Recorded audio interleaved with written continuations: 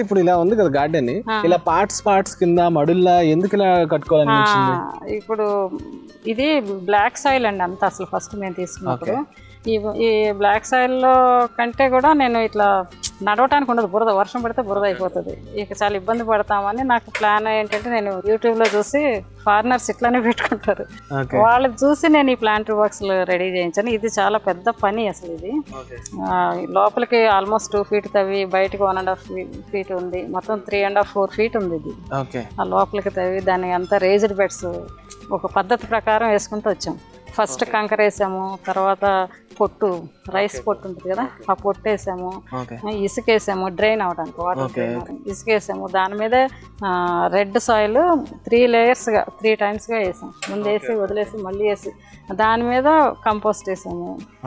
చాలా పెద్ద ప్రాసెస్ అయింది ఇది. సో మీరు చెప్తేనే తెలుస్తుంది. చాలా లేయర్స్ ఉన్నాయి చాలా లేయర్స్ ఉన్నాయి. అదంతా చేసి అప్పుడు మాకు ఫస్ట్ ఆకుకూరలు టమాటోస్ పెట్టాను నేను.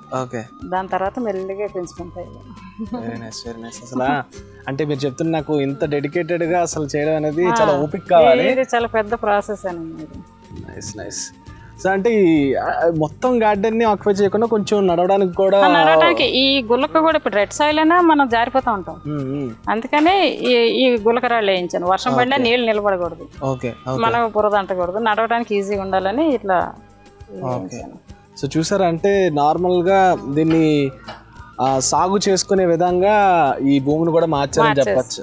Very nice madam